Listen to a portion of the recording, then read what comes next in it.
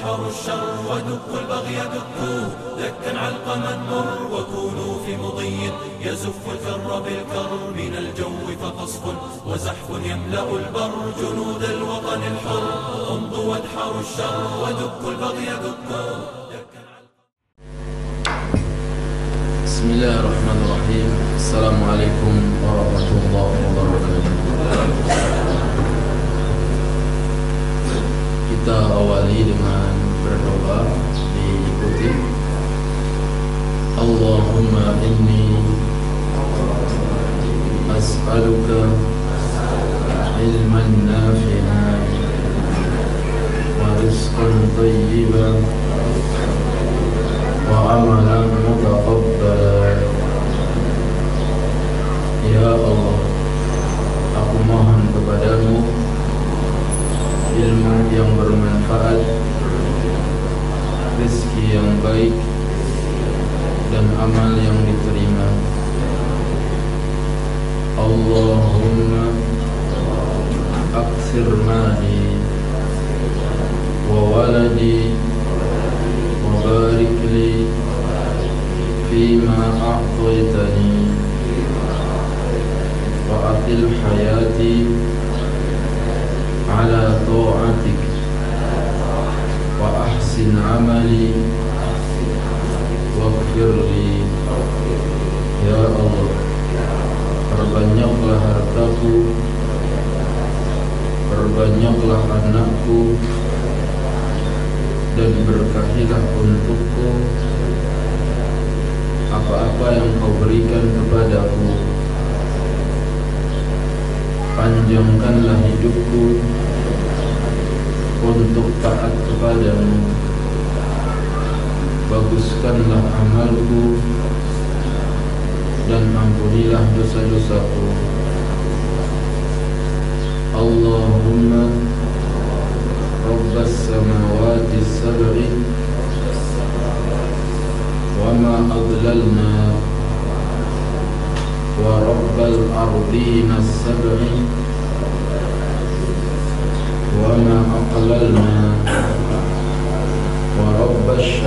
الشياطين وما أضللنا ورب الرياح وما ذرينا فإنا نسألك خير هذه القرية وخير أهلها وخير ما فيها ونعوذ بك من شرها وشر أهلها وشر ما فيها Ya Allah Rabb tujuh langit Dan apa-apa yang ada di bawahnya Rabb tujuh bumi Dan apa-apa yang ada di atasnya Rabb setan-setan Dan apa-apa yang disesatkannya. Rabb amin dan apa-apa yang diterbangkannya. Kami mohon kepadamu kebaikan kampung ini kebaikan penduduknya dan kebaikan apa-apa yang ada di dalamnya dan kami berlindung kepadamu dari keburukannya keburukan penduduknya dan keburukan apa-apa yang ada di dalamnya. Amin. Alhamdulillah nahmaduhu wa nasta'inuhu wa nastaghfiruh wa na'udzu billahi min shururi anfusina min sayyiati a'malina man yahdihillahu fala mudilla lahu wa man yudlil fala hadiya lahu أشهد أن لا إله إلا الله وحده لا شريك له وأشهد أن محمدا عبده ورسوله. يا أيها الذين آمنوا اتقوا الله حق تقاته ولا تموتن إلا وأنتم مسلمون Wahai orang-orang yang beriman Bertakwalah kalian kepada Allah Dengan sebenar-benarnya takwa Dan janganlah sekali-kali kamu mati Kecuali dalam keadaan muslim Ya ayuhan nasu taqu rabbakum alladhi khalaqakum min nafsi wahidah Wa khalaqa minha zawjaha Wa batha minhuma rijalan kathiran wa nisa'a واتقوا الله الذي تساءلون به والأرحام إن الله كان عليكم رقيبا Wahai manusia Bertakwalah kalian kepada Allah Yang telah menciptakan kalian Dari diri yang satu Yaitu Nabi Adam Dari Adam Diciptakanlah istrinya Yaitu Hawa dari Adam dan Hawa berkembang biak laki-laki dan perempuan yang banyak. Maka bertakwalah kalian kepada Allah yang dengan nama Allah kalian saling minta satu dengan yang lain. Dan perhatikanlah silaturahmi. Sesungguhnya Allah senantiasa mengawasi.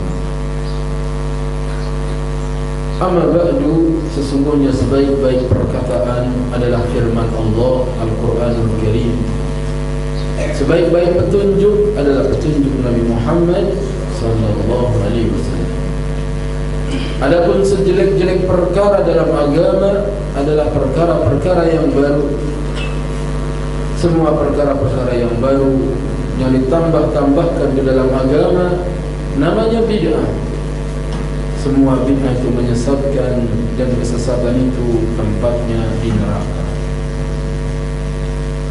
Saudara kaum muslimin dan muslimat yang saya cintai, apa kabar? Alhamdulillah bangun tidur dalam keadaan sehat itu nikmat besar. Berapa banyak orang yang bangun tidur dalam keadaan tidak bisa diangkat tangannya. Dia di stroke kita bisa bangun bisa jalan ke masjid. Ini nikmat yang harus kita syukur bangun tidur dalam keadaan iman dan rizki kita hari ini tercukupi. Ini seakan dunia dan seisinya milik Siapa yang berada di waktu pagi dalam keadaan beriman Kemudian sehat badannya Dan rizki hari itu tercukupi Seakan dunia dan seisinya milik kita. Sebab yang dibutuhkan oleh manusia Adalah keimanan yang ada di hatinya Kesehatan yang meliputi tubuhnya Dan kebutuhan hari itu. Adapun esok dan lusa kita enggak tahu apakah masih hidup atau tidak. Saudara kaum muslimin rahimakumullah wajib kita bersyukur dengan nikmat yang Allah berikan dan kita berada dalam samudra nikmat yang susah kita untuk mensyukuri. Di antara cara syukur adalah dengan terus mempelajari Islam, mengamalkan Islam, dan mendakwahkannya. Syukur dengan cara terus mempelajari Islam, mengamalkan Islam dan mendakwahkannya. Dan pelajaran terpenting dari Islam dalam masalah akidah. Masalah tauhid yang mencakup rukun iman yang enam. Iman kepada Allah, iman kepada malaikat-malaikatnya, iman kepada kitab-kitabnya. Iman kepada hari akhir. Iman kepada takdir yang baik maupun yang buruk. Pelajaran kita pagi hari ini adalah rukun iman yang kelima yaitu iman kepada hari hari kiamat.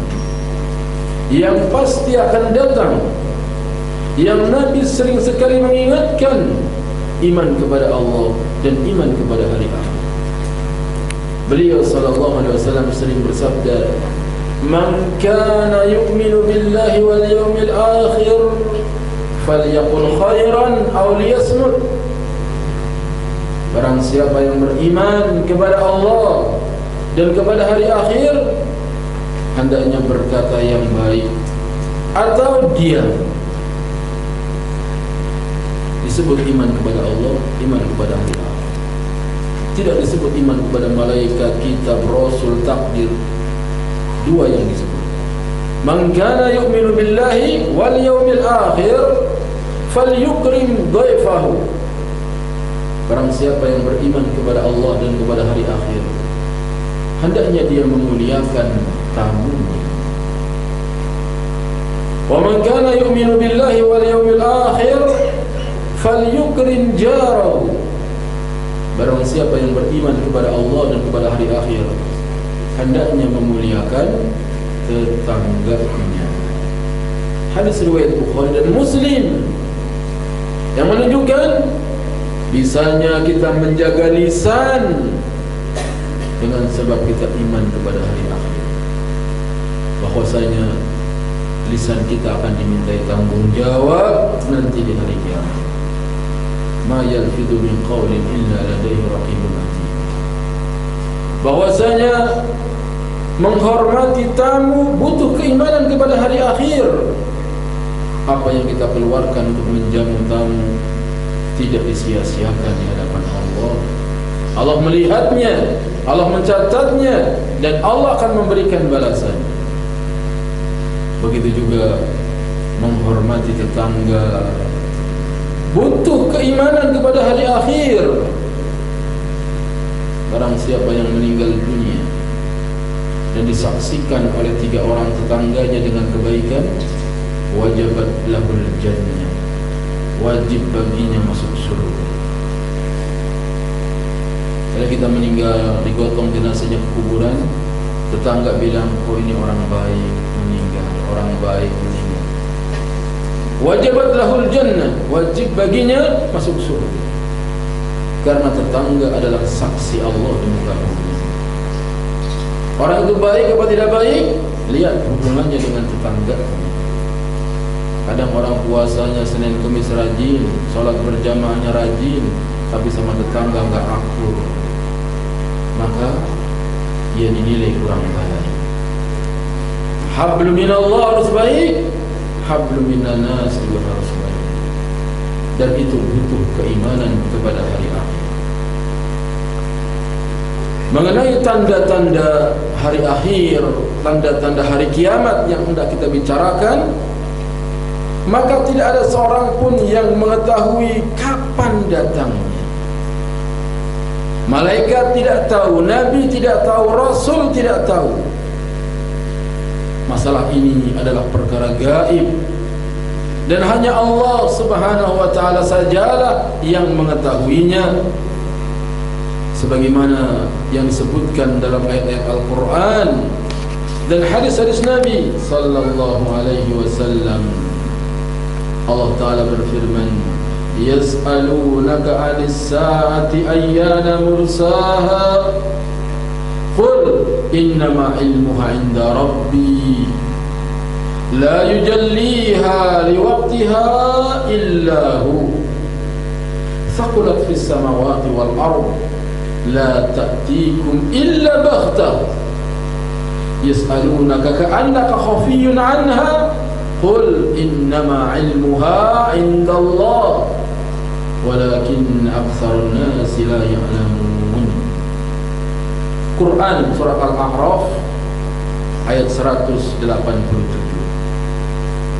Mereka menanyakan kepadamu wahai Muhammad sallallahu alaihi wasallam tentang kiamat kapan datangnya? Katakanlah sesungguhnya pengetahuan tentang kiamat itu ada pada Rabbku. Tidak ada seorang pun yang dapat menjelaskan waktu terjadinya selain dia kiamat itu sangat berat huru haranya. Sangat berat. Yauma yafirrul mar'u min akhi wa ummihi wa abi wa sahibatihi wa bani likulli imri'in minhum yauma idzin sya'nu yuhni. Pada hari itu berpisah seorang anak dengan ibunya berpisah dengan bapaknya berpisah dengan istrinya berpisah dengan anak-anaknya masing-masing orang sibuk dengan urusannya sendiri-sendiri sangat berat huru-huranya bagi makhluk yang di langit dan yang di bumi tidak akan datang kepadamu kecuali secara tiba-tiba. Kiamat itu datangnya mendadak. Mereka bertanya kepadamu seakan-akan kau mengetahuinya. Katakanlah wahai Muhammad sallallahu alaihi wasallam, sesungguhnya pengetahuan tentang hari kiamat ada pada Allah. Tetapi kebanyakan manusia tidak mengetahui sengaja Allah sembunyikan kapan datangnya hari kiamat agar kita selalu bersiap-siap jangan-jangan sudah dekat jangan-jangan sudah dekat persiapkan bekal menghadapi hari kiamat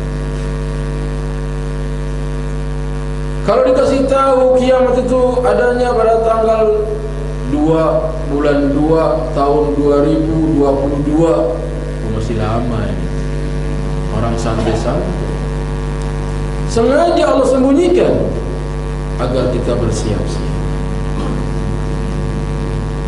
Dalam ayat yang lain Allah berfirman yas'aluka Yas'aluka an-nasu 'anis sa'ah.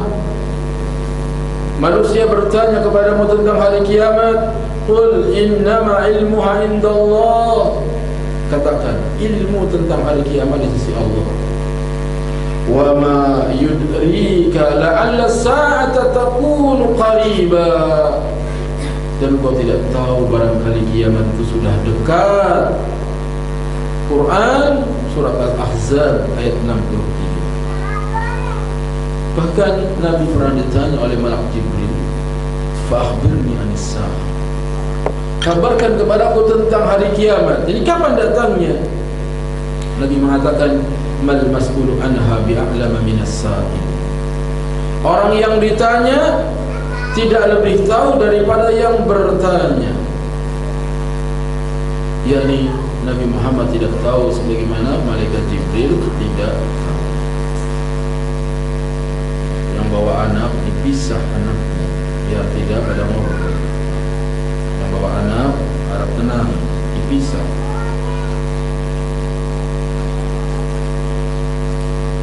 Meskipun waktu terjadinya hari kiamat tersebut tidak ada yang mengetahuinya. Kan tapi Allah Azza wa Jalla telah memberitahukan kepada Rasulnya sallallahu alaihi wasallam tentang tanda-tanda hari kiamat tersebut. Kemudian Rasulullah SAW menyampaikan kepada umatnya tentang tanda-tanda kiamat. Para ulama membagi menjadi dua. Pertama, tanda-tanda kiamat yang kecil. Yang kedua, tanda-tanda kiamat yang besar. Tanda-tanda kiamat yang kecil sangat banyak dan sudah terjadi sejak zaman dahulu dan akan terus terjadi. Di antaranya wafatnya Nabi Muhammad wasallam. Itu tanda hari kiamat kecil. Tanda-tanda yang kecil tentang hari kiamat Nabi wasallam meninggal dunia. Lalu munculnya banyak fitnah, banyak perselisihan, banyak pertengkaran, munculnya fitnah dari arah timur dari Irak ini ciri-ciri hari kiamat. Timbulnya firqah khawarij. Firqah yang suka mengkafir-kafirkan yang bukan kelompoknya. Munculnya orang yang mengaku sebagai nabi. Sudah muncul dari zaman ini. Ada Musyilamah al-Kadzab ada Al-Aswad al-Ansi ada Al-Himyari ada Mirza Hulam Ahmad ciri hari kiamat hilangnya amanah. Susah nyari orang jujur. Ciri-ciri hari kiamat. Gak bisa dipercaya. Dikasih tanggung jawab iya. Tanggung jawab iya siap. Tetapi nggak dijalankan. Itu namanya khianat. Dianggapnya ilmu dan merajalelanya kebodohan diangkatnya ilmu ini ilmu agama. Ilmu pemahaman tentang Al-Quran dan Sunnah. Dan banyaknya perzinaan. Banyaknya perzinaan. Di pantai ada perzinaan di gunung ada perzinaan di pinggir jalan ada perzinaan di bawah pohon ada perzinaan di atas pohon ada perzinaan. Perzinaan ada di mana dan banyaknya orang bermain musik termasuk tanda dekatnya hari kiamat banyak orang bermain musik. Banyak orang yang minum khamar minuman keras dan banyak perjudian. Juga termasuk ciri hari kiamat masjid-masjid dihias. Ciri-ciri hari kiamat menghias-hias masjid termasuk ciri dekatnya hari kiamat. Bahkan Masjid Nabawi nanti akan menjadi seperti istana. Nanti Dajjal mau masuk ke Medina dihadang oleh malaikat. Dajjal hanya bisa lewat di luar Medina sambil menunjuk ke Masjid Nabawi. Itu istananya Muhammad. Itu istananya Muhammad jadi nanti Masjid Nabawi akan dibangun sedemikian indah seperti istana. Dan sekarang sudah seperti istana. Dan nanti akan lebih bagus lagi. Masjid dihias-hias. Sehingga orang masuk masjid Allahu Akbar. Bukan mengagungkan Allah tapi yang lihat masjid Masya Allah bagus banget masjidnya. Karpetnya empuk Masya Allah. Dingin dia terkagum-kagum dengan bangunan masjid bukan lagi membesarkan Allah sehingga yang ada di dalam masjid bukan lagi orang beribadah tapi orang pada selfie. Begitu datang masjid langsung nyuruh temannya ini pegang handphone. Dia langsung tasyahud attahiyatulillah minta difoto. Sholat kagak tapi gayanya lagi sholat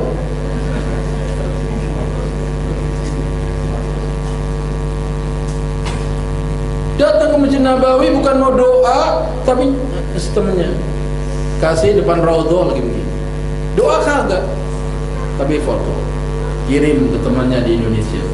Ini gua lagi umroh. Ria pamer. Dia tampakkan sehingga umroh haji siap bawa kamera dari sini bawa kamera handphonenya penuh dengan foto-foto. Ciri-ciri hari kiamat ibadahnya bukan lagi mengharapkan ganjaran tapi ingin dapat pujian tetangganya, cucu-cucunya biar ketahuan menantunya. Ini nenek gua lagi. Mejeng depan Ka'bah suami istri lagi pelukan foto. Ini akhir zaman banyak bangunan yang tinggi. Banyak bangunan tinggi ciri-ciri hari kiamat. Orang bersaing dalam bangunan. Dia lantai dua dia bikin lantai tiga. Di lantai tiga dia bikin lantai empat. Tinggi-tinggian bangunan. Maka rumahnya besar-besar. Kamarnya banyak. Tapi kosong. Kan tadinya buat anak. Anaknya udah bikin lagi yang rumahnya lebih gede cucu. Cucunya nggak berani ke rumah nenek. Gede banget serem.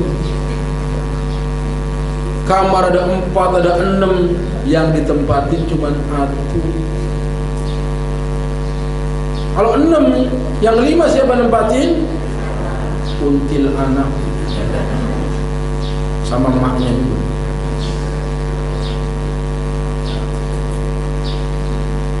Inilah ciri-ciri hari yang budak melahirkan tuannya. Budak melahirkan tuannya.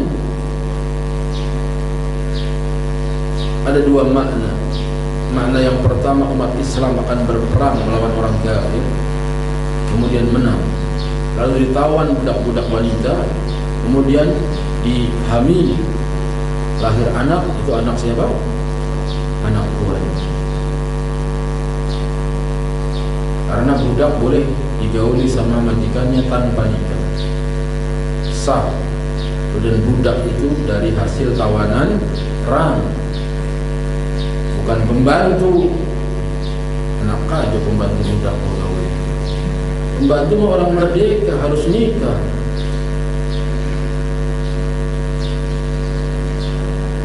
Makna yang kedua, banyaknya anak durhaka.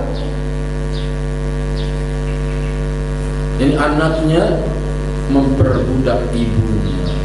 Ibunya suruh ngomong anak. Ibunya suruh ngurus rumah. Anaknya ke mana? Anaknya kantor, berangkat pagi pulang malam. Ibunya seperti budak, anaknya seperti tuan. Itu namanya budak melahirkan sudah ada belum?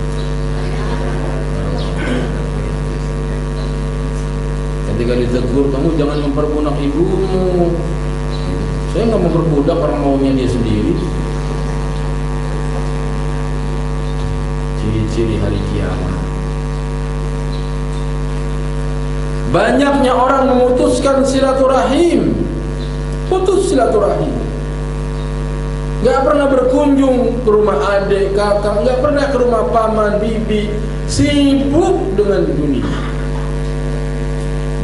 Kok nggak pernah silaturahim? Jakarta macet. Siapa bilang Jakarta macet? Jakarta lancar.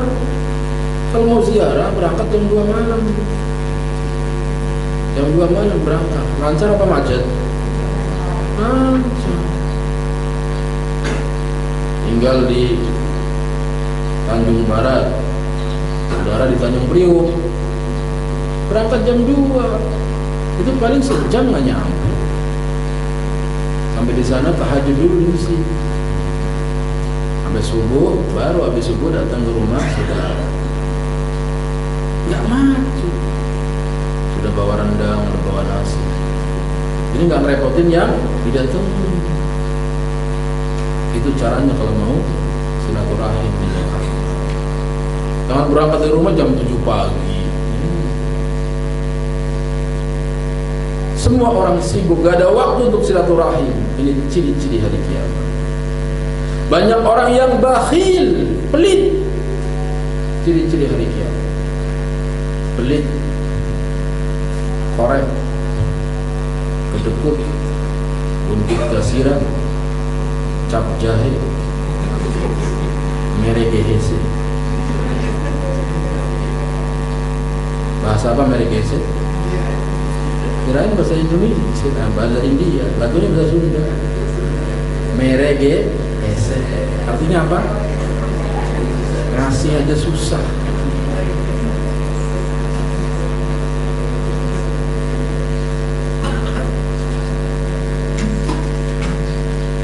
Nah, itu dia. Ciri-ciri hari kiamat orang pelit-pelit. Duitnya di mana? Ditabung di bank, ditabung deposito. Dia makan bunganya haram. Bunga bank itu. Duit kasih sama keluarga, sama saudara yang butuh. Jangan ditabung-tabung, nggak dibawa mati.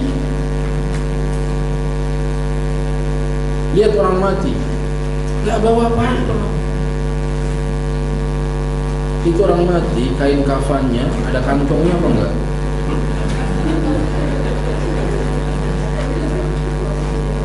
orang mati enggak ada kantongnya itu duit disimpan simpan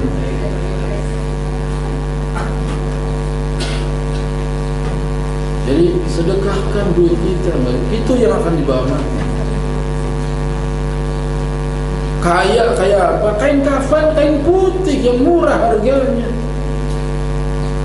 Ada mentang-mentang orang kaya kain kafannya pakai batik. Dikira mau kondangan. Jadi jangan bakhil. Bakhil ini ciri-ciri hari ya. Orang pada pelit-pelit. Saking pelitnya lampu penerangan jalannya dimatiin. Depan rumahnya gelap kasih lampu yang terang buat orang lewat masjid juga pelit pengurusnya bakhil Itu WC dikunci terus. Ini benar-benar jadi kiamat ini udah. Ada orang mampir mau ke WC dikunci. Bagaimana mau dapat ganjaran? Orang yang infak bangun masjid itu dapat ganjaran itu kalau dipakai WC-nya. Kalau nggak pernah dipakai, disumpahin itu sama orang yang kebelet.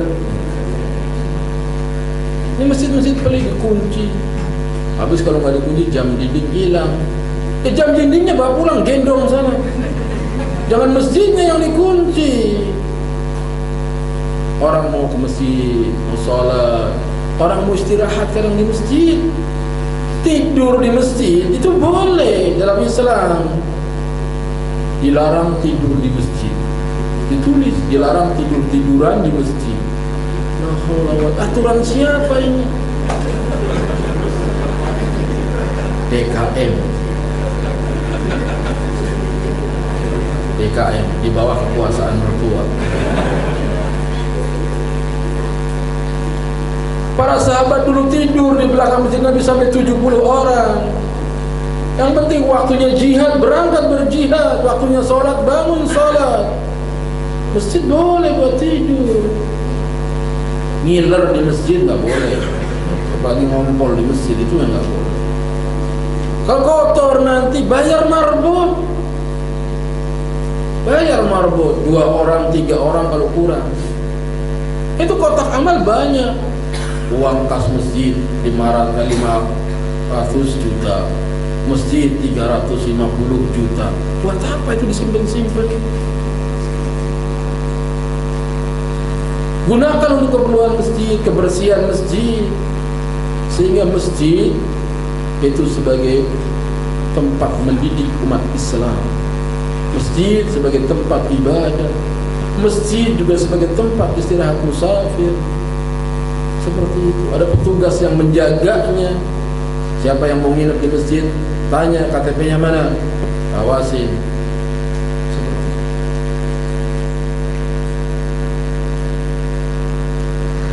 jadi tidak boleh bakhil ciri-ciri hari kiamat orang pada pelit wafatnya para ulama dan orang-orang saleh. Orang saleh pada meninggal, ciri-ciri hari kiamat.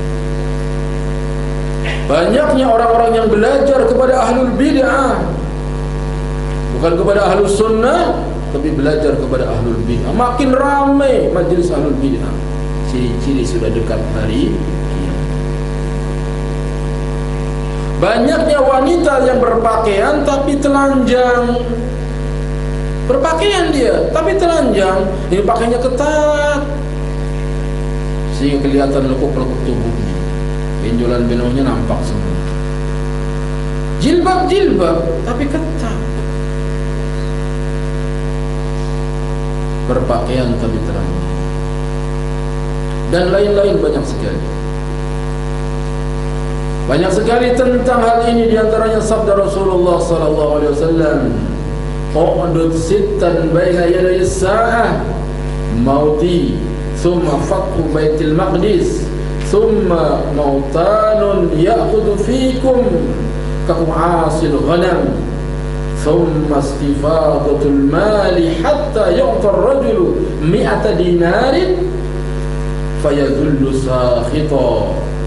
ثم فتنة لا يبقى بيت من العرب إلا دخلته ثم هدنة تكون بينكم وبين بني الأصفار فيقدرون فيأتونكم تحت ثمانين غاية تحت كل غاية إثنى عشر ألفا Perhatikan enam tanda-tanda hari kiamat.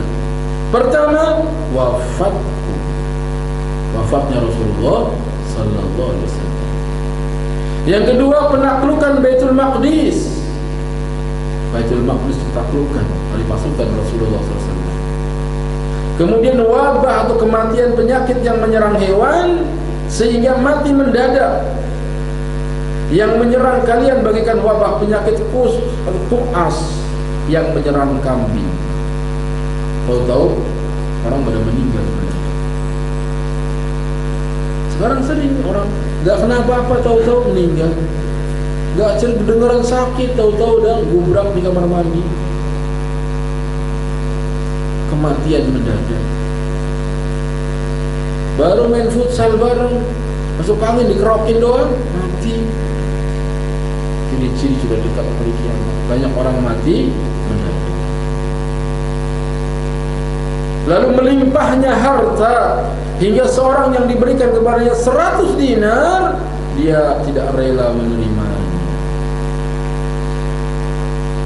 Satu dinar dua seperempat gram, empat seperempat gram emas. Kalau satu gram lima ratus ribu berarti sekitar dua juta tiga ratus. Dua juta tiga ratus kali seratus berarti berapa?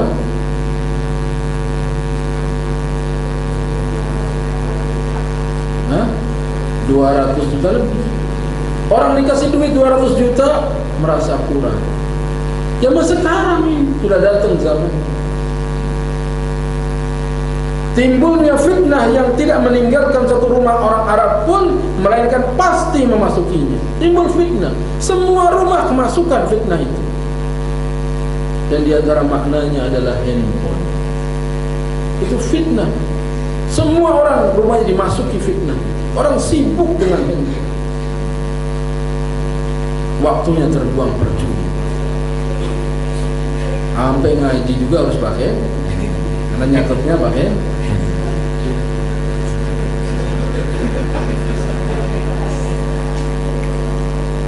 Bangun tidur yang dicari apa? Mau tidur yang dipegang kayaknya nggak bisa hidup tanpa ini. Ini. Iya kalau digunakan untuk yang manfaat semoga dapat ganja. Sebagiannya digunakan untuk hal yang sia-sia. Terjadinya perdamaian antara kalian dengan Bani Asfar itu bangsa Romawi namun mereka melanggarnya dan mendatangi kalian dengan 80 bendera atau kelompok pasukan. Setiap bendera kelompok itu terdiri dari 12.000 orang.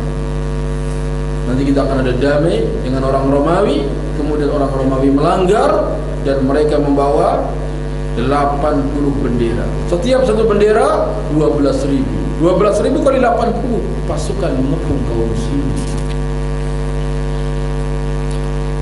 Rasulullah sallallahu alaihi wasallam juga bersabda inna min asratis sa'ah ayurfa'al ilmu wa yasbudul jahlu wa yasrabul khamru wa yadharuz zina Sesungguhnya di antara tanda-tanda hari kiamat adalah dekatnya diangkatnya ilmu, tersebarnya kebodohan, diminumnya khamr dan merajalelanya perzinahan.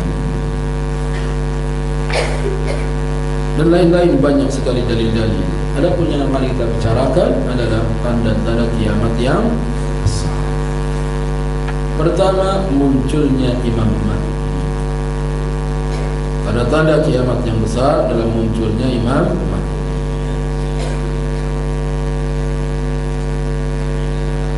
Ahlus Sunnah mengimani Imam Mahdi di akhir zaman akan muncul seorang lelaki dari ahlul bait dari keturunan Rasulullah SAW. Allah memberi kekuatan kepada agama Islam dengannya. Dia memerintah selama tujuh tahun, memenuhi dunia dengan keadilan setelah sebelumnya dipenuhi dengan kezaliman dan kelaliman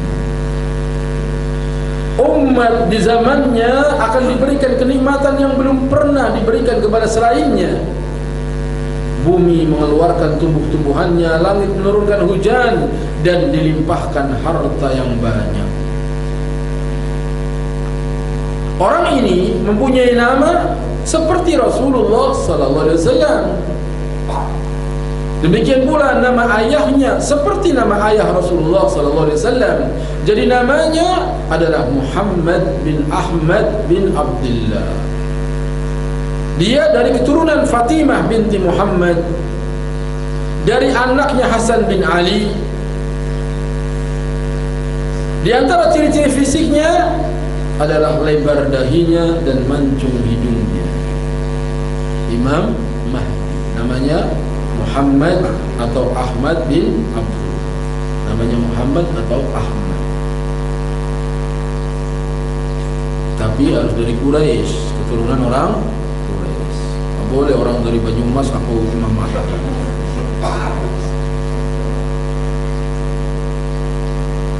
Al-Hafidh Ibn Kathir rahimahullah berkata, Al-Mahdi akan muncul dari arah timur, bukan dari Sirdab Samira, sebagaimana yang disangka oleh kaum Syiah Rafidhah. Mereka menunggu sampai sekarang tuh orang Syiah, padahal persangkaan mereka itu adalah igawan semata, pemikiran yang sangat lemah dan gila yang dimasukkan oleh syaitan. Persangkaan mereka tidak mempunyai alasan baik dari Al-Quran maupun As-Sunnah bahkan tidak sesuai dengan akal yang sehat.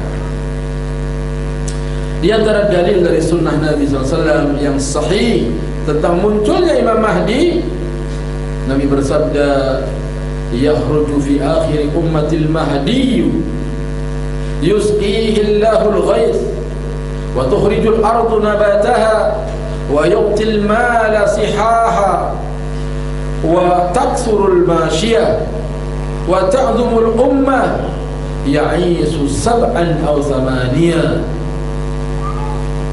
Al-Mahdi akan keluar di akhir kehidupan umat. Allah akan menurunkan hujan kepadanya sehingga bumi menumbuhkan tumbuh-tumbuhannya. Diberikan kepadanya harta yang melimpah.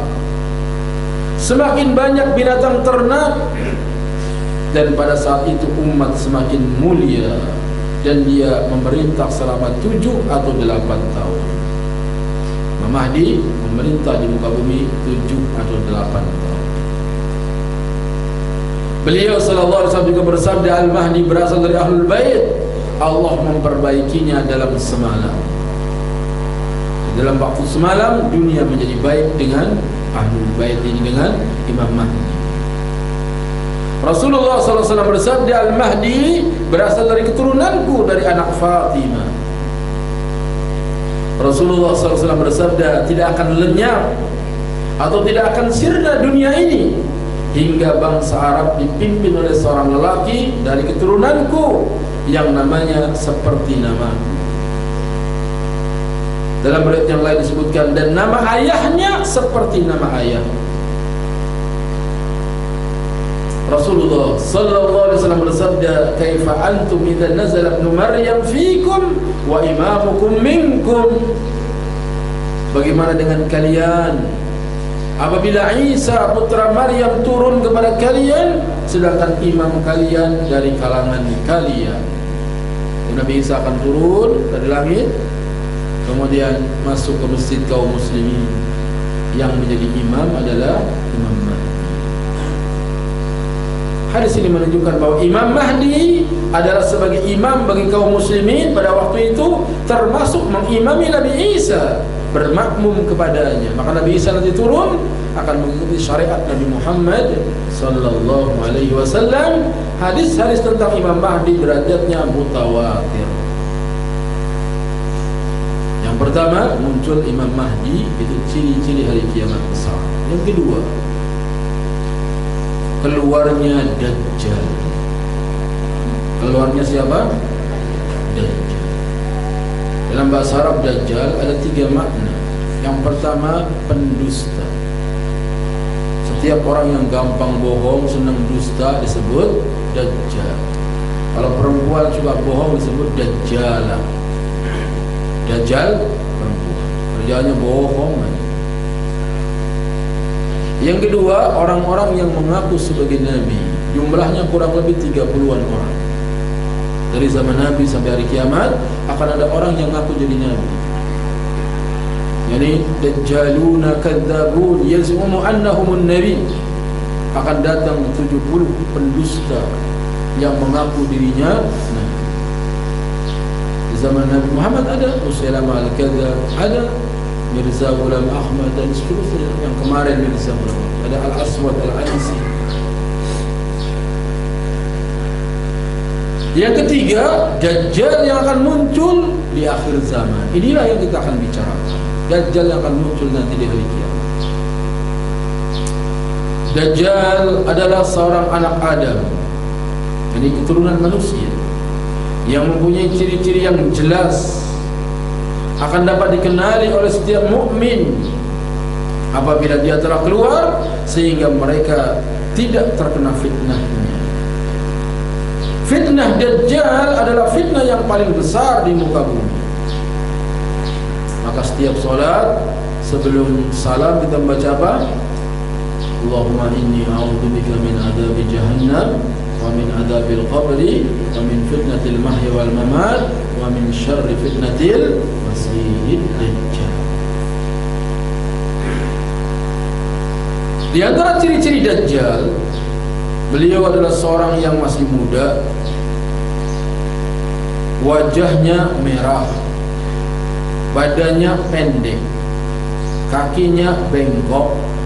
Rambutnya keriting, matanya sebelah kanan buta dan menonjol keluar bagaikan buah anggur yang mengapung.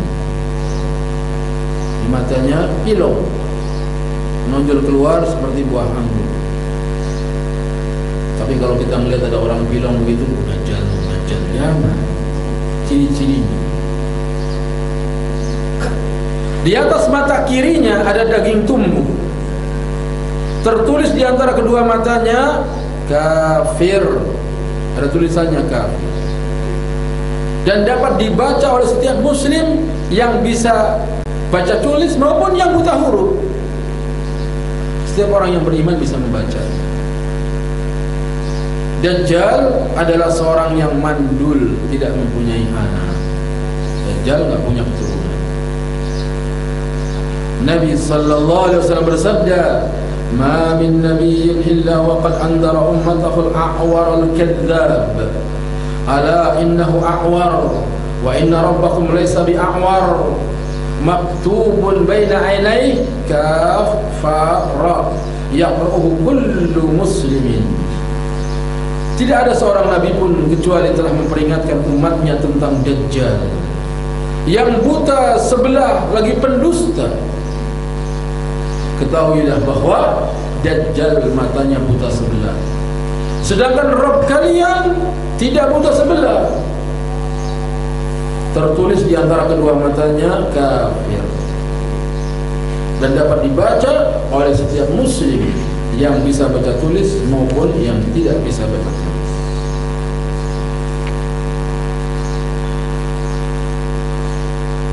Tempat keluarnya Dajjal di mana keluarnya? Tanjung Barat, di Priok atau di Bogor? Tempat keluarnya Dajjal akan muncul dari arah timur dari Khurasan. Sekarang terletak di Iran Timur. Jadi di Iran muncul. Dengan diiringi 70 ribu orang Yahudi Asbahan. Karena Iran itu Syiah itu anak tirinya Yahudi. Maka Iran nggak pernah perang sama Amerika, nggak pernah. Walaupun ngancem doang Amerika, laknat Amerika terkutuk, ngancem doang. Itu pura-pura untuk mengelabui umat Islam di seluruh dunia.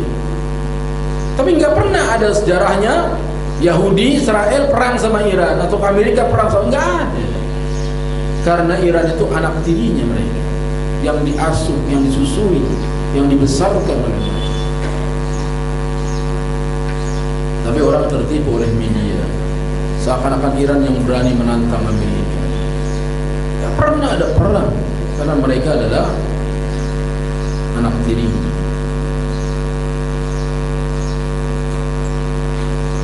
Yang keempat Tempat yang dimasuki Dajjal. Mana saja jalannya Dajjal? Dajjal berjalan di muka bumi dengan cepat Seperti hujan yang ditiup angin. Jadi kedengar suara gemuruh Tiba-tiba sampai ia masuk ke setiap negeri kecuali Mekah dan Medina.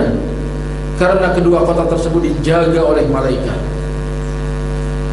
Ketika dia tidak dapat masuk ke Medina maka kota Medina berguncang tiga kali. Lalu keluarlah orang kafir orang munafik kaum munafikin laki-laki maupun perempuan menuju Dajjal.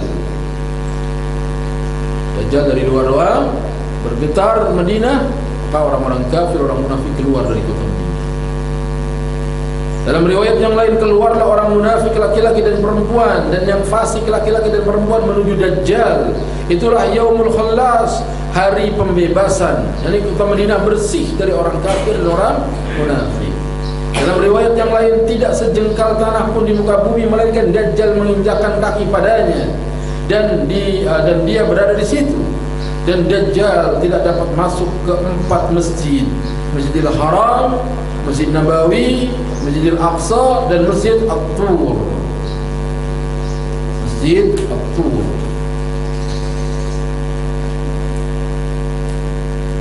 Dajjal berada di muka bumi selama 40 hari. Sehari seperti setahun. Siangnya 6 bulan, malamnya 6 bulan. Sehari sama sebulan siangnya 15 hari, malamnya 15 hari. Sehari sama sepekan, siang tiga setengah hari, malam tiga setengah hari. Kemudian baru hari berikutnya sama seperti hari-hari biasa.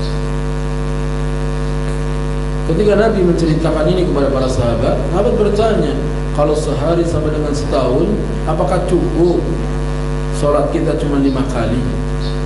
Dijawab Nabi, ukur sebagaimana waktu-waktu. Ini menunjukkan di akhir zaman akan ditemukan alat mengukur waktu dan sekarang jam sudah ada. Sehingga orang yang berada di satu tempat yang nggak pernah tenggelam mataharinya siang terus ini matahari sampai seperti asar tahu-tahu keluar lagi di timur di daerah Swedia tuh mana udah pernah belum Swedia. Hah? belum pernah? Sama. Ceritanya begitu jadi nggak ada malam siang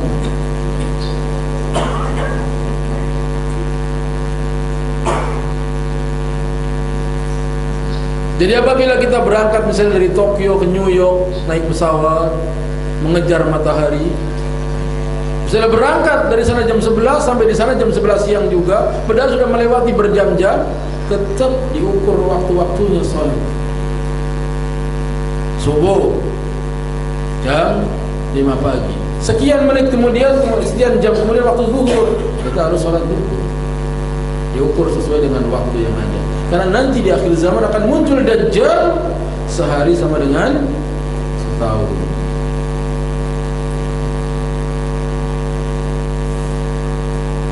Fitnah Dajjal merupakan fitnah yang paling besar sejak Allah menciptakan Adam sampai hari kiamat. Dajjal membawa dua sungai yang mengalir. Salah satunya terlihat air putih dan yang lain terlihat api yang menyala-nyala. Apabila seorang mendapati hal itu Hendaknya dia masuk ke dalam sungai yang tampak api. Pejamkan mata Tundukkan kepala Minumlah. Itu adalah air yang sejuk. Kelihatannya api Kalau kita masuk minum Itu air yang sejuk. Dajjal mengaku sebagai Rob Sebagai Tuhan. Menyuruh hujan turun Turun hujan. Menyuruh bumi tumbuh Tumbuh-tumbuh buah lalu tumbuh tanamannya Dajjal sakti. Bisa menghidupkan orang mati. Dan yang lainnya sebagai fitnah bagi kaum muslimin. Dajjal akan ditemui seorang pemuda. Kata Dajjal kamu yakin aku Tuhanmu pemuda itu enggak Tuhanku enggak buta sebelah matanya. Kamu buta sebelah maka pemuda itu ditangkap dibelah badannya jadi dua. Kemudian dilemparkan sejauh lemparan tombak Dajjal berjalan di antara kedua belahan tubuhnya sambil tertawa. Kemudian Dajjal memanggil pemuda tadi. Hai pemuda kembali! Kemudian hidup lagi. Hidup lagi. Lalu Dajjal bertanya sekarang kamu yakin aku Tuhanmu? Pemuda tadi menjawab aku sekarang lebih yakin engkau adalah Dajjal manusia mau ditangkap lagi lari pemuda itu dan Dajjal gak sanggup menangkapnya menunjukkan sesakti-sakti Dajjal punya kelemahan. Buktinya gak bisa menangkap pemuda pada kali yang kedua. Dajjal akan dibunuh oleh Nabi Isa alaihi salatu di Babul Lud, satu desa di dekat Baitul Maqdis di Palestina. Ketika melihat Isa, Dajjal langsung lunglai sebagaimana garam laut di dalam air. Kalaupun Isa tidak membunuh Dajjal dengan tombaknya, niscaya Dajjal akan mati karena kondisinya itu. Akan tetapi Allah mencabut nyawanya melalui tangan Isa dan menampakkan darahnya di tombak Isa.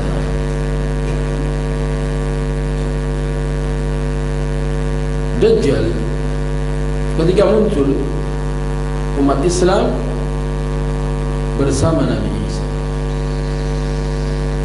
Nabi Isa datang ke masjid. Kemudian dipersilahkan suruh datangnya waktu subuh Nabi Isa.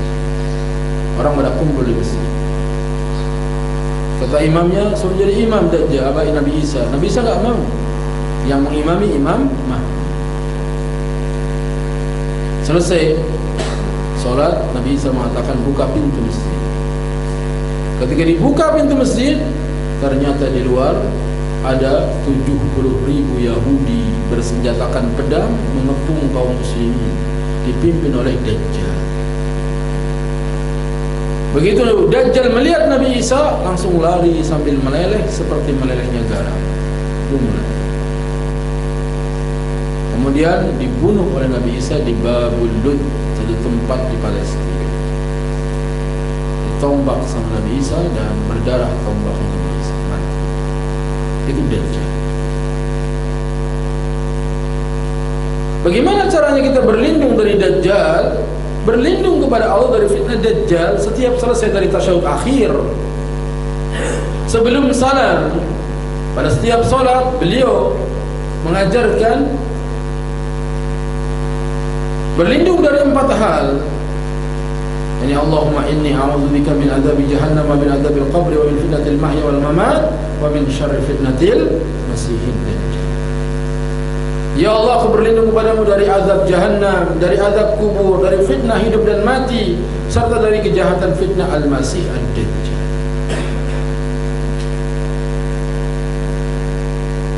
Ini menunjukkan disyariatkan membaca doa perlindungan dari empat hal setiap solat. Tasyahud. Sebelum salam wajib.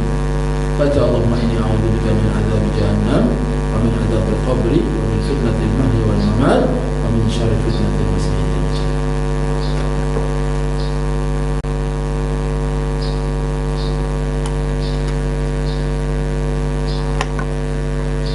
Tasyahud akhir tempat untuk berdoa. Jadi tasyahud akhir itu tempat untuk berdoa. Jadi doa yang mustajab itu sebelum salam, bukan setelah salam. Doa setelah salam boleh. Tapi yang lebih mustajab sebelum salam. Terutama kalau kita sholat sunnah, qobliyah, ba'diyah, duha, tahajud, maka gunakan sebelum salam untuk berdoa. Dan juga hadis ini menetapkan adanya azab jahannam, menetapkan adanya azab kubur, adanya fitnah kehidupan dan fitnah kematian dan fitnah al-masih ad-dajjal itu cara berlindung dari dajjal selalu baca doa. Yang kedua menghafal 10 ayat pertama surat al-kahfi menghafal 10 ayat pertama surat al-kahfi sudah hafal belum?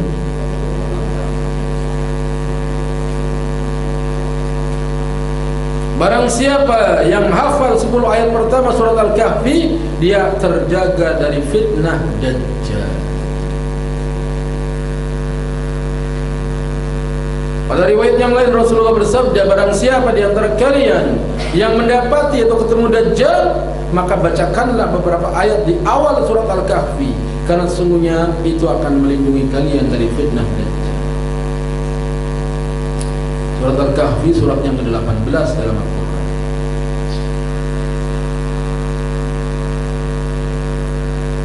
Cara yang ketiga Menjauhi tempat fitnah Dan tidak mengikutinya. Jauhi tempat-tempat fitnah. Tempat-tempat yang banyak ujian, cobaan Banyak maksiat, banyak dosa Jauhi Yang keempat tinggal di Mekah atau di Medina Aman Karena Dajjal nggak bisa masuk Mekah dan Madinah. Imam Nawawi rahimahullah dalam Sarah Sahih Muslim telah menukilkan perkataan Al-Qadhi Ayyam rahimahullah sebagai berikut. Hadis-hadis tentang Dajjal merupakan hujah ahlu sunnah tentang kesohihan adanya Dajjal bahwa ia merupakan sosok tertentu yang dengannya Allah menguji para hambanya. Allah membekalinya dengan kemampuan untuk melakukan banyak hal seperti menghidupkan mayat yang telah dibunuhnya. Di kisah tadi pemuda Dajjal seolah-olah dapat menciptakan segala kemewahan dunia. Sungai-sungai bisa membuat kebun-kebun api tunduknya segala kekayaan bumi padanya maka diceritakan Dajjal berjalan seperti pohon korma jantan yang diiringi oleh lebah. Jadi di mana saja Dajjal ada, negerinya makmur. Siapa yang membenci Dajjal, negerinya dibikin kering kerontang. Memerintahkan langit untuk menurunkan hujan, maka terjadilah hujan. Memerintahkan bumi untuk menumbuhkan tumbuh-tumbuhan, maka tumbuhlah. Semua itu atas kehendak Allah. Kemudian Dajjal dilemahkan sehingga tidak mampu untuk membunuh seorang pun dan membatalkan perintahnya. Akhirnya terbunuh di tangan Isa bin Maryam. Dan Allah Subhanahu wa taala menguatkan orang-orang yang beriman. Inilah yang menjadi madhab ahli sunnah dan seluruh ahli hadis, ahli fiqih, ahli nazar berbeda dengan orang-orang yang mengingkari dan yang menentang dari kalangan khawarij Jahmiyah serta sebagian dari kaum Mu'tazilah. Itulah baru dua mengenai ciri-ciri hari kiamat. Pertama munculnya siapa? Imam Mahdi. Yang kedua munculnya Dajjal. Nanti yang ketiga turunnya Nabi Isa di akhir zaman secara lengkap. Tadi baru disinggung. Kemudian terbitnya matahari dari barat, keluarnya Ya'juj dan Ma'juj. Keluarnya Ya'juj dan Ma'juj.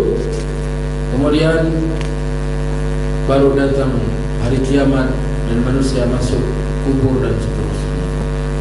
Sampai di sini karena waktunya perlu ada soal jawab.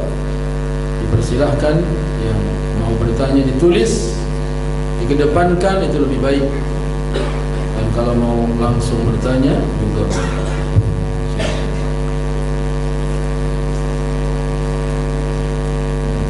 kami persilakan Bapak atau Ibu yang menyampaikan pertanyaan.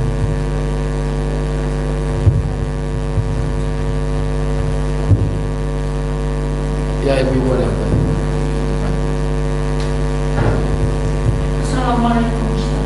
Waalaikumsalam warahmatullahi wabarakatuh Jadi Dajjal itu kita uh, meyakini Ustaz ada Dajjal. Dajjal dan uh, orang masyarakat yang kita nanti nanti Ahmad bin bin itu keturunan daripada Quraisy. Dia tuh mungkin kita juga harus meyakini itu dan tidak jadi apa-apa yang dibikin oleh Dajjal itu kita yakini cuma itu aja Ustaz Ya Betul apa yang disampaikan oleh ibu bahwasanya kita wajib beriman tentang munculnya Dajjal. Dan itu diceritakan oleh Nabi kita Muhammad sallallahu alaihi wasallam. Dan Nabi Muhammad tidak berbicara dengan hawa nafsu, tapi berdasarkan wahyu. Allah berfirman dalam surat An-Najm, "Wa ma yantiqu 'anil hawa in huwa illa wahyu yuha." Nabi tidak berbicara dengan hawa nafsu tapi berdasarkan wahyu yang diwahyukan.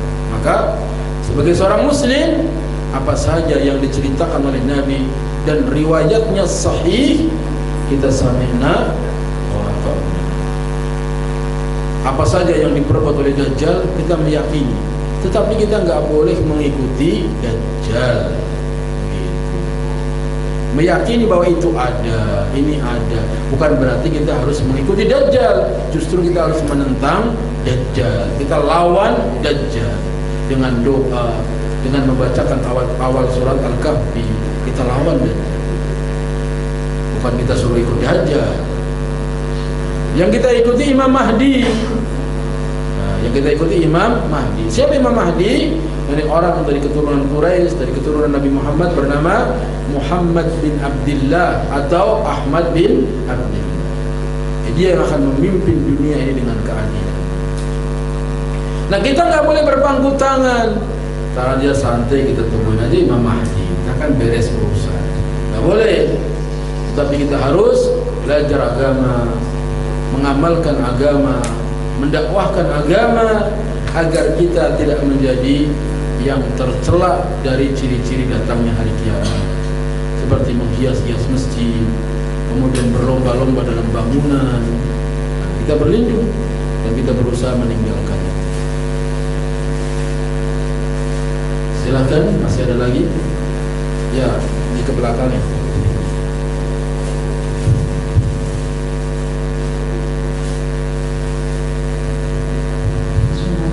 Assalamualaikum warahmatullahi wabarakatuh. Waalaikumsalam. Eh, Ini Mas, tadi kan diterangkan bahwa eh, kapan terjadinya hari kiamat itu tidak ada yang tahu gitu ya. Iya. Eh, bahkan Rasulullah SAW pun dulu ketika ditanya eh, menjawabkan tidak tahu juga istilahnya. Iya, iya. Beredar di WhatsApp beberapa waktu yang lalu gitu ada ceramah eh, saya tidak tahu apakah Ustaz sudah sudah eh, melihatnya atau belum ada ceramah dari salah seorang Ustaz itu itu bukan memberitahu kapan kiamatnya tapi istilahnya prediksi bahwa eh, akan terjadi kiamat menurut eh, perhitungan-perhitungan yang beliau sampaikan dari kitabnya Al-Imam Hajar kalau nggak salah. Pokoknya eh, dihitung tuh menurut periode yang lima itu Ustaz. Nah itu kemudian eh, itu bagaimana pas saya juga melihat wah agak agak ada war- warning juga buat kami sebenarnya. Tapi terkait hal itu sebenarnya boleh atau tidak? Kalau misalnya kita ada prediksi nih eh, dari periode yang lima kemudian di di apa namanya dihubung-hubungkan dengan eh, prediksinya apa? Di- eh, saya yang terdahulu. Eh, itu itu gimana Ustaz? Karena itu kan lumayan tuh yang berada di WhatsApp saya dapatkan waktu itu apakah Ustaz juga udah melihatnya. Kemudian bagaimana kita eh, terkait hal itu kita mengimaninya atau tindakan kita gitu apa sikap yang kita ambil. Nah, terima kasih Ustaz. Assalamualaikum Waalaikumsalam. Telah beredar ceramah seorang ya, pengajian ibu-ibu kalau. Situ digambarkan umur umat Islam. Umat Islam tahun sekian akan habis. Kemudian dia mengatakan ini diambil dari kitab Ibnu Hajar dan yang lain, tapi nggak menyebutkan yang mana Hadisnya yang mana? Dia bilang hadisnya sahih. Tapi yang mana? Nggak dibacakan juga. Sekedar kesimpulan dia. Sekedar prediksi dia. Maka saya melihatnya dan saya memperhatikannya, saya kira nggak penting yang seperti itu. Dan sekiranya tahu kapan umur dan itu penting, tentu Nabi menjelaskannya kepada kita. Seandainya itu penting, tentu Nabi akan menjelaskannya kepada kita. Tatkala Nabi tidak menjelaskannya, berarti nggak penting. Seperti itu. Yang penting bagaimana? Yang penting kita mengimani tentang datangnya hari kiamat. Dan hari kiamat datangnya kata Allah tadi apa? Bahtah, tiba-tiba, mendadak. Kalau bisa diketahui begitu periodenya, berarti nggak mendadak. Iya kan? Udah tahu kita ini tahun sekian begini, tahun sekian begini, berarti nggak mendadak. Sedangkan yang disebutkan dalam ayat Al-Quran tadi datangnya adalah mendadak. Sehingga saya kira uh, tidak usah disebarkan lagi, tidak usah disebarkan lagi. Dan saya sudah berapa kali berapa kali dapat itu dan saya diem aja nggak dikomentari. Nah, imbau saya dikomentari. Kalau ada yang percaya, ya semoga kepercayaannya menambah amal soleh. Tetapi, Allah alam saya lihat bertentangan bahwasanya kiamat datangnya mendadak. Kalau emang seperti itu sudah diketahui, berarti nggak mendadak. Ada tahapan-tahapannya. Dekat-dekat hari itu berarti kita harus jualin semua yang kita ada buat sodakoh semua. Habis itu kan mati. Begitu lewat nggak mati-mati, nyesel deh. Allah alam ya biarin saja. Komentar saya tidak tepat. Silahkan. Ya. Assalamualaikum warahmatullahi wabarakatuh. Waalaikumsalam warahmatullahi Ah, mengenai hari kiamat sejak zaman dahulu sebenarnya sudah disebutkan bahwa waktunya agak dekat. Iya. Rasulullah juga pernah bersabda bahwa ada hari itu sekali. Terus ah, juga ah, malaikat Israfil itu sudah ah, satu sudah ada di mulut gitu. Terus sejak zaman dulu dikatakan bahwa sudah dekat sekali. Iya. Nah kita eh, pertanyakan ini waktu dekatnya ini eh, waktu apa gitu? Iya. Masih waktu dekat ini waktu tanda tanya waktunya Allah, waktunya di akhirat atau waktunya di dunia. Dan sejak dulu sudah dekat dekat dekat dekat. Itu yang pertama. Yang kedua mengenai eh, Dajjal. Tadi sebutkan bahwa Dajjal itu punya keistimewaan yang serba wah. Nah itu eh, apa hikmahnya? Allah memberikan keistimewaan kepada Dajjal. Apakah untuk menjadi manusia lagi atau bagaimana? Apakah dengan apa untuk membentengi itu cuma dengan menghafal surah tapi membaca bahasa Indonesia?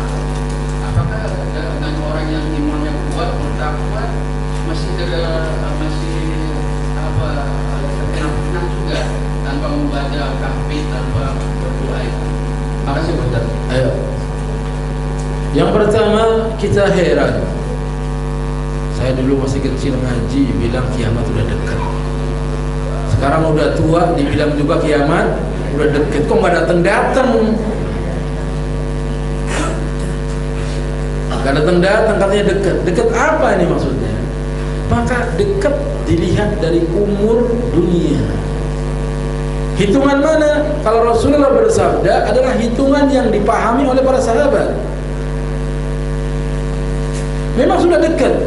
Tapi kan Nabi Muhammad diutus sampai sekarang baru 1437 tahun Hijriah. Sekarang Hijriah tahun berapa? 1437. Sedangkan kita tahu Nabi Nuh saja umurnya berapa? 950 tahun. Itu baru Nabi Nuh.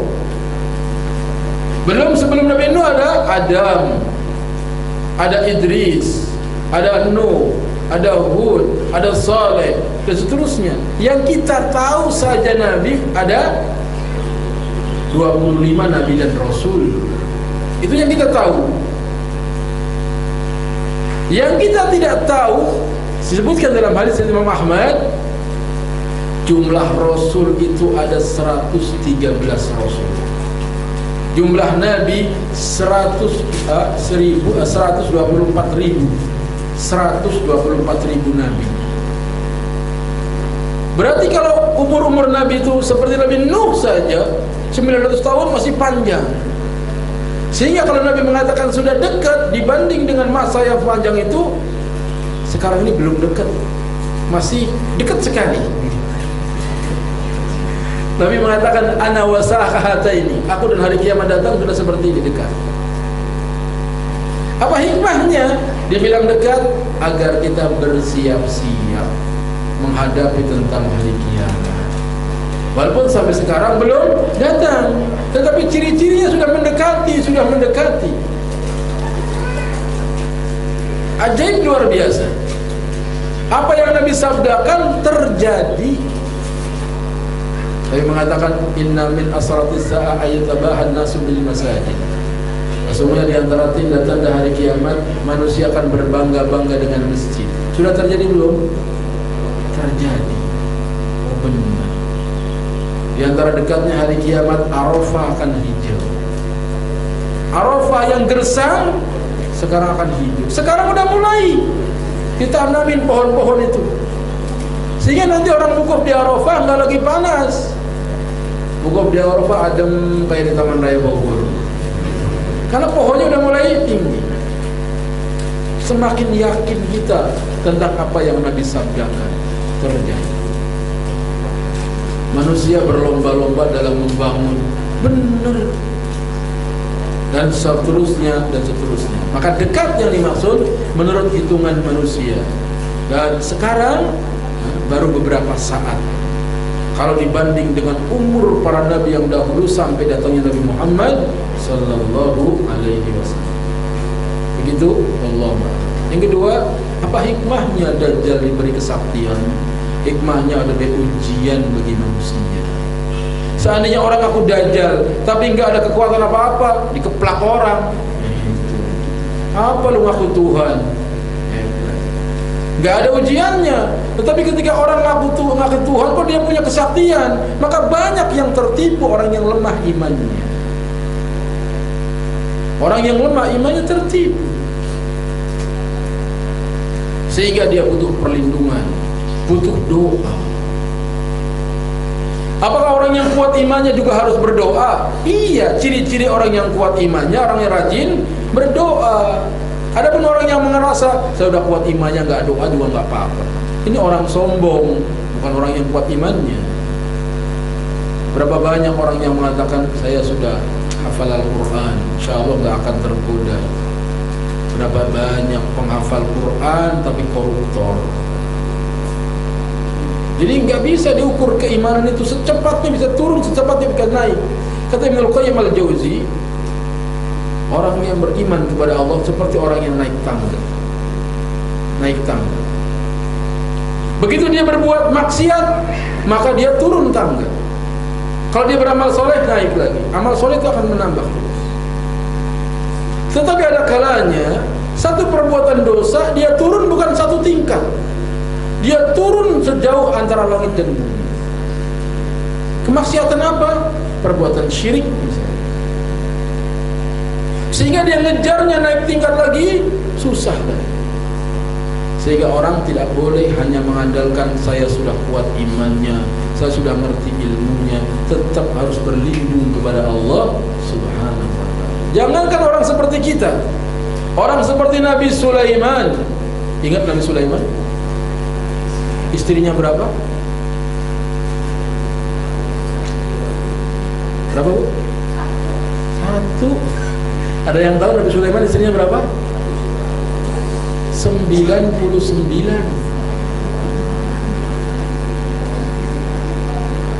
Nabi Sulaiman bukan Sulam Nabi Sulaiman Suatu hari apa kata Nabi Sulaiman Malam ini aku campuri istriku semuanya 99 Dicampuri semua. Dan nanti akan lahir 100 pejuang di jalan Allah. Nanti genapkan 99 jadi Nabi Sulaiman lupa baca insya Allah. Apa yang terjadi? Tidak ada seorang pun istrinya yang melahirkan anak. Kecuali satu istrinya yang melahirkan anak dalam keadaan cacat. Yakni nggak ada tangan dan kakinya. Seorang nabi butuh doa. Ucapkan apa? Insya Allah makanya jangan lupa insya Allah sebaliknya dengan doa sesuatu yang tidak mungkin jadi mungkin. Ingat kisah Nabi Yunus. Apa ujian yang menimpa Nabi Yunus? Ditelan ikan disuruh berdakwah kepada umatnya. Ternyata umatnya nggak mau beriman. Kesel Nabi Yunus berdoa ya Allah daripada mereka mau beriman binasakan mereka.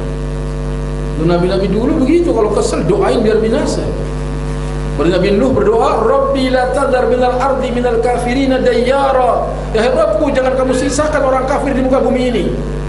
Habisin semua. Nabi Yunus ya Nabi Nuh begitu. Maka benar datang air banjir di mana-mana. Siapa yang naik kapal Nuh itu yang selamat. Yang lain mati semua. Itu nabi-nabi dahulu. Tapi nabi kita luar biasa. Didolimi, disakiti, dia malah doanya Allahumma hdi qaumi fa innahum la. Ya Allah, berilah hidayah kepada kaumku karena mereka tidak tahu. Itu doa Nabi kita. Yang harusnya kita juga ikuti kalau kita dakwah diusir, kita dakwah ditentang, jangan benar mencret lu. Jangan. Didoain lawan dakwah kita kepada korengan pada kasihan kita doain ya Allah moga-moga mereka dapat hidayah. Seperti itu Nabi Muhammad. Ketika Nabi Yunus minta agar umatnya dibinasakan maka Allah perintahkan dakwah lagi 40 hari. Kalau 40 hari tidak mau juga mereka beriman baru dibinasakan. Mulai berdakwah lagi siang dan malam. Sampai hari pertama, kedua, sampai hari ketiga lima belum ada tanda-tanda umatnya mau beriman. Hari ketiga enam, ketiga tujuh belum juga beriman. Kurang tiga hari lagi. Hari ketiga delapan belum juga mau beriman. Hari ketiga sembilan. Takut azab turun Nabi Yunus pergi. Sampai di pantai ada kapal yang mau berlayar dia naik. Begitu di tengah jalan kapal itu dihadang gelombang besar oleng kapal. Kata nahkoda nggak seperti biasa nih kapal ini dihadang gelombang begini. Biasanya ada yang orang pelarian di sini, ada yang pelarian. Siapa yang pelarian? Yunus bilang saya. Dilihat wajahnya orang baik-baik. Sebab orang baik sama orang jahat itu bisa dilihat. Ini tampang orang baik nih. Ini tampang orang mengutang nih. Bisa dilihat orang-orang yang punya firasat bisa melihat nih tampaknya orang lapar nih. Duduk aja duduknya biasanya lagi lapar tampang orang baik-baik. Maka diundi kocok yang keluar Yunus coba diulang lagi diundi. Dikocok keluar Yunus akhirnya Yunus yang loncat. Lalu ditelan sama ikan. Ikan paus ikan nun ikan paus. Untung ditelan. Coba kalau dikunyah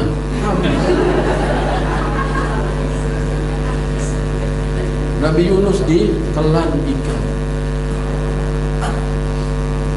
Ibnu Katsir dalam kitabnya Qasasul Anbiya menceritakan, begitu dia di perut ikan kata Nabi Yunus, mati aku. Lalu Nabi Yunus menggerak-gerakkan kakinya. Masih hidup. Dia sadar masih hidup di perut. Lalu Nabi Yunus sholat di perut ikan sholat. Lalu dia mengatakan, Ya Rabb, aku telah membangun masjid yang tidak mungkin ada seorang pun yang bisa membangun masjid seperti masjid.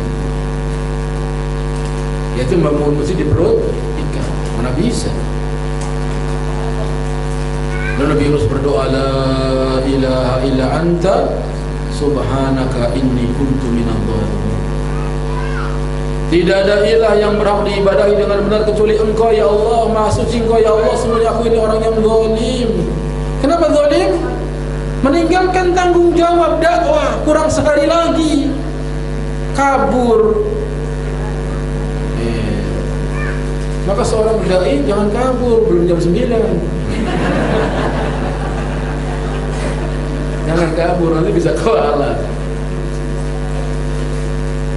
Sekarang udah jam 9 boleh kabur. Ketika doa seperti itu Doanya Yunus diceritakan naik ke permukaan laut, membumbung tinggi ke angkasa, menembus awan sampai di ars Allah yang Maha Rahman. Para malaikat yang ada di sekitar ars mengatakan, "Ya Rabb, suara yang lemah dari tempat yang jauh. Suara siapa ini ya Rabb?" Allah berfirman, "Tidak tahukah engkau? Ini adalah suara hambaku Yunus." yang aku penjara dalam perut ikan. Kata malaikat ya Rab, Yunus yang senantiasa bertasbih kepadamu kau penjara dalam perut ikan selamatkan dia ya Rabb selamatkan dia ya Rabb. Lalu Allah perintahkan agar ikan memuntahkan Yunus ke daratan. Dimuntahkan ke daratan selamat walaupun sakit. Allah abadikan dalam surat As-Saffat walaula kana minal musabbihin lalabisa fi batnihi ila yaumi yub'atsun sekiranya Yunus bukan orang yang senantiasa bertasbih niscaya dia akan tinggal di perut ikan sampai hari dibangkitkan. Sekiranya Yunus bukan orang yang selalu bertasbih niscaya dia akan tinggal di perut ikan sampai hari dibangkitkan ini menunjukkan keajaiban doa. Di perut ikan, di gelapnya malam, di dasar lautan masih bisa selamat dengan doa. Padahal Yunus nggak bawa handphone. Sekalipun bawa handphone sinyal mati di perut ikan. Tim SAR nggak bisa nolong, tapi Allah bisa menolong. Begitu seorang nabi tetap berdoa. Apalagi kita merasa bertakwa dan yang lain tetap harus berdoa, berlindung kepada Allah berlindung kepada Allah. Karena waktunya sudah habis mohon maaf apabila banyak kekurangan. Kita ketemu lagi insyaallah di lain kesempatan. Subhanakallahumma bihamdika asyhadu an la ilaha illa anta astaghfiruka wa atubu ilaik wassalamu alaikum warahmatullahi